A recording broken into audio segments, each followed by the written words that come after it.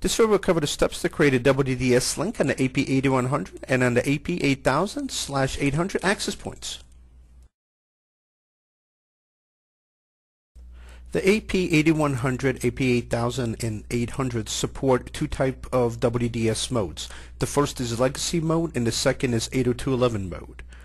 The first mode we will cover is legacy mode. In this mode, a WDS link can be established between two legacy access point devices supporting the IEEE 802.11 ABG modes without serving the 802.11n authentication functionality while establishing the WDS link. This mode supports the WEP encryption type to secure the data. WPA and WPA2 are not supported under legacy mode. Using this mode can connect the AP8100 and the AP8000/100 access points with the legacy products, such as the AP700 and AP4000. The second WDS mode is the 802.11 mode. In this mode, a WDS link can be established between two BSS supporting the IEEE 802.11 NA slash NG mode serving the association and authentication functionality. This mode supports the AES 128-bit encryption type to secure the data. In WDS 11N mode, each VAP can be configured in either. WDS endpoint A, the VAP enabled in this mode will act as a WDS enabled AP device and performs the standard AP functionality. Or WDS endpoint B mode, the VAP enabled in this mode will act as a WDS enabled station and perform the functions of a station slash client.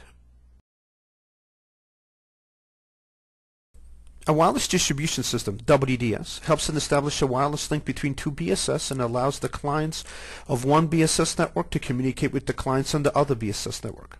WDS helps in extending the wireless LAN where it is difficult to use the wired Ethernet to relay the packets between the networks. To establish a WDS link, the following steps have to be configured on all WDS APs. Make sure that all APs that will participate in the WDS are set to the same frequency channel. The AP that's connected to the backend will be set to WDS and A. All other APs connected to the A radio will be set to WDS and B. After the WDS types have been established, to set up the WDS link, you're going to copy the BSS ID from the A radio and you're going to paste it to the PMAC address in the B radio. And you're going to do the same thing going backwards. You're going to copy the BSS ID from the B radio and you're going to paste it to the PMAC address in the A radio. This is going to establish your WDS link. It's going to keep on going from each radio that you're going to add to your WDS chain. It is required for all WDS links. All WDS APs must share the same security information.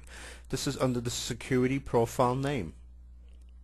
Under security, wireless security, you'll be able to locate the authentication type.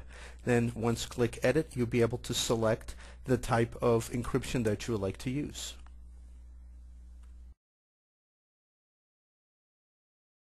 For more Proxim Support TV videos and access to our various support offerings, please visit support.proxim.com. If technical support is required, please call 1-866-674-6626 or open a ticket with us.